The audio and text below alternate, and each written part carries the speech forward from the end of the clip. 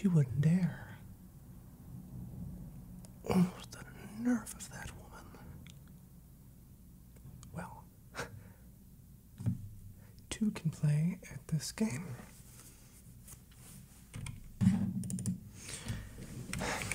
Dear Mrs. Miller, no. Dearest Mrs. Miller,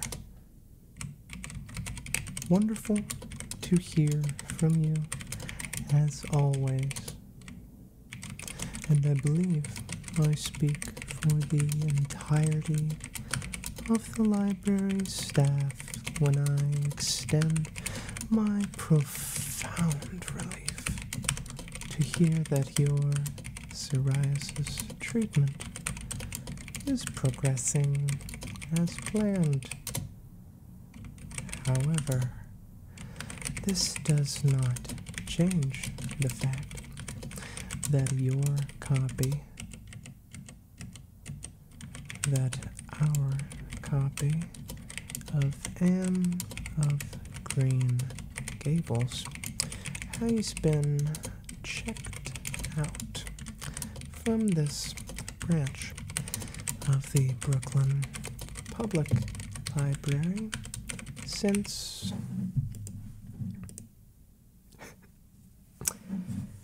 May 18th, 1998, and has thus incurred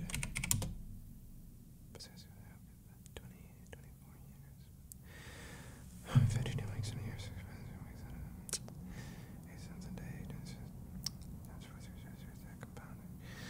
You carry the two, and then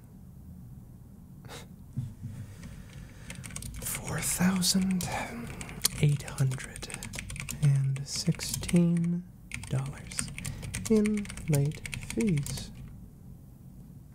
This is, of course, regardless of whatever relationship a given patron of the library may share with its staff. We eagerly await your payment by whatever means you deem most convenient. Send my love to Max and the Corgis. Yours with love, the librarians of the Central Branch of the Brooklyn Public Library.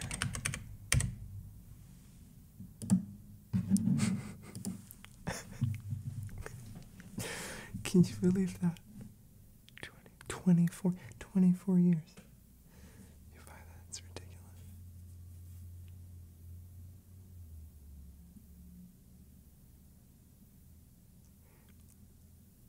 Can I help you?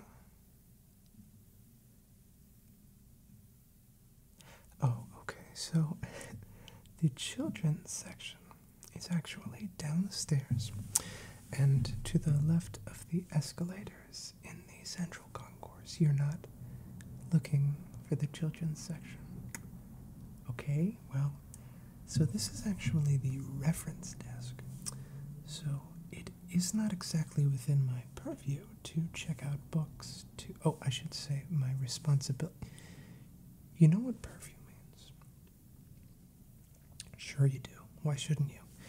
Well, then you should have no trouble understanding how it would be a slight dereliction of my duties to help you with such a menial task when there could be far more important uses of my time. A library card. Yeah, technically, I can get you a library providing, of course, that you can spell your name. Oh, you can? Well, why don't you prove it, huh? Right there.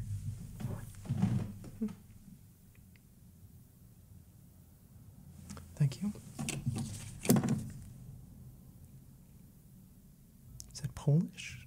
Uh, Lithuanian.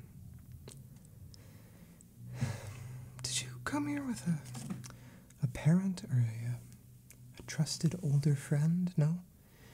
You're alone. What, so you just moseyed over to the library after the school bell rang? You're homeschooled. That explains a lot. Okay, so, kid, there's actually a couple more pieces of documentation that I'm going to need to be able to issue a library card. So, why don't you come back on a day when you can get yourself a parent or guardian to chaperone you, and uh, then we'll see what we can do about Gay. You you brought them. You looked online, and you brought the documentation necessary.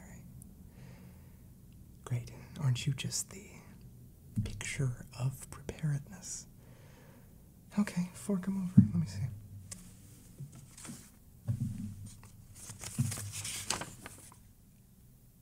Proof of address.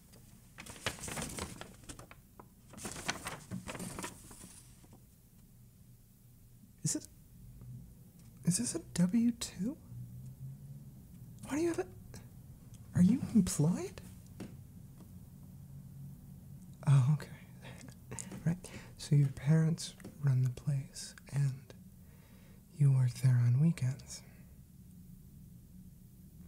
Eager to join the workforce, are we? Yeah, I suppose this will do fine.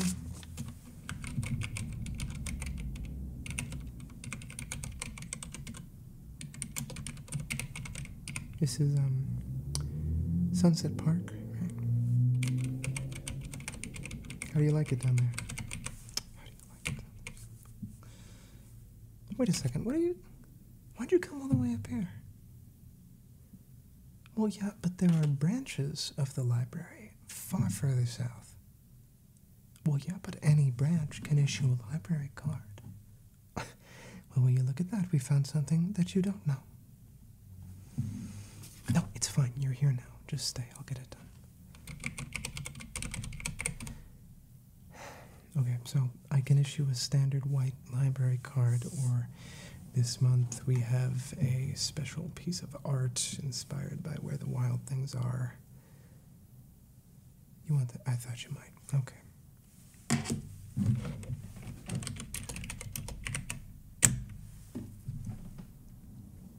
It, it's printing. It's printing.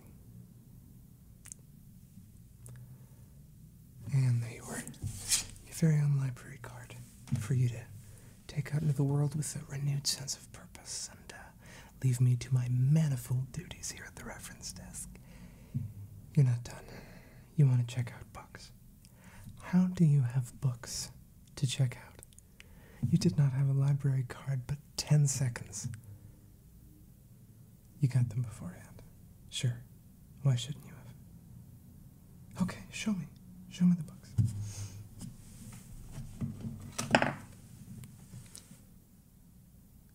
The Longest Journey. E.M. Forster.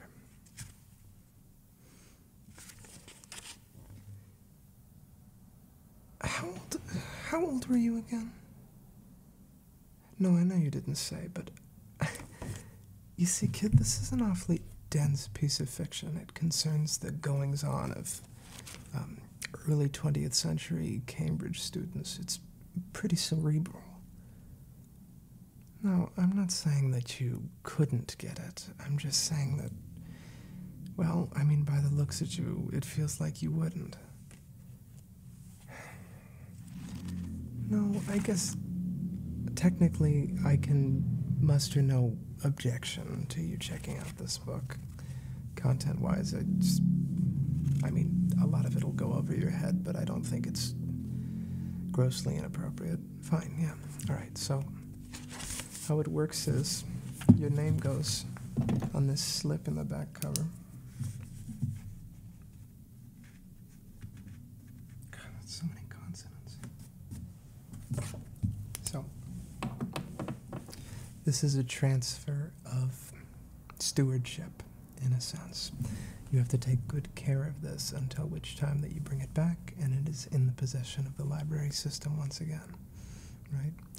You get this book for three weeks and not a second longer.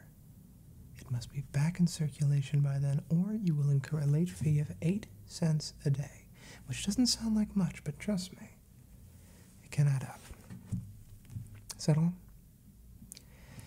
More books. Sure, the more the merrier. The children of the future. Really? No, it, it is a good book. It's just that the Parable of the Sower, Octavia Butler. No. It's just that there's some content in here that I think might be disturbing to young minds. If I'm being honest, there's there's a darkness to the subject matter. Y- you like science fiction, right? No, I just guessed from the everything about you.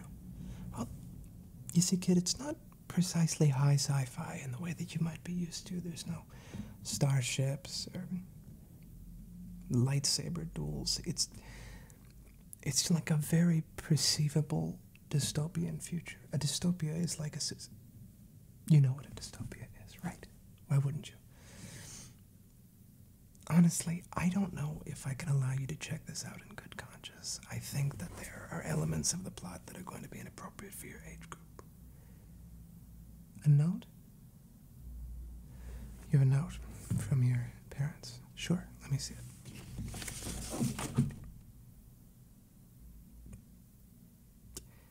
Well, it's awfully clear to see who you get your handwriting from. Any and all books that they see fit to check out. I can't accept this. Why? Oh, because it's a blatant forgery, which is a crime, by the way, misdemeanor. It's a fake. No adult would start a letter, Dear all librarians. Come on, you can't kid an old kidder. You wouldn't believe how many periods of gym I skipped in my day with this sort of shenanigan. No, this one goes back on the pile. There's just no chance. You all set? Are you going to test my patience further? You've got one more. Sure. Let me see. Better not be Zen and the art of motorcycle maintenance. Oh, no. There's just no chance. In cold blood? Do you even know what this is about? How do you know what this is about? Oh, you watched Capote. Sure. And now you want to familiarize yourself with the subject matter. There's just no chance. Why? Well, it's about murderers, for one, and the language, for another thing. Plus, why are you even reading this sort of thing?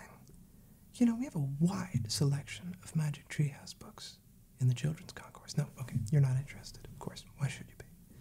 You're only a child, for God's sake. No, this one goes back to. I'm sorry. You come back with a real parent or a real note they're from, and maybe we'll talk. But no, not this time. Are we finished? Who is Mrs. Miller? How do you even know that? Were you eavesdropping? You little snoop. Well, if you absolutely have to know, Mrs. Miller is a prominent benefactress of this branch of the Brooklyn Library System, which means that she. Right. You know what a benefactor is. Why shouldn't you? Well, yes, she pays for large portions of our collection to be maintained and restored. Does a lot of important work for the library at our various fundraising events and galas, but feels that this privileged mm. position entitles her to mistreat the library staff and take flagrant liberties with our late book policies. Precisely. No, it is very disrespectful to the institution. Right, because a library should be the, gr- the great leveler. Exactly. Everyone should have equal access to the books in question. And when somebody bogarts a book for an extended period of time, they take it out of the hands of someone who might benefit from it intellectually. Oh, this is exactly my point. Yeah, yes, as a matter of fact, she does. Uh, the penthouse on uh, Vanderbilt, yeah. What, what do you mean send her a message? No, I, I don't condone any such. But kid, wait, come back. Oh my God, kid.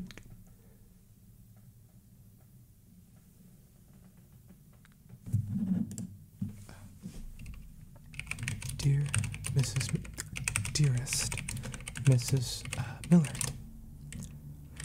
I would just like to make absolutely clear that we, the librarians of the Central Branch of the Brooklyn Public Library, um, have absolutely no part to play in any sort of acts of vandalism that may or may not befall your gorgeous and austere property on Vanderbilt Avenue. Wishing you continued success with your treatment. Sincerely and with love, the librarians of the Central Branch of the Brooklyn Public Library.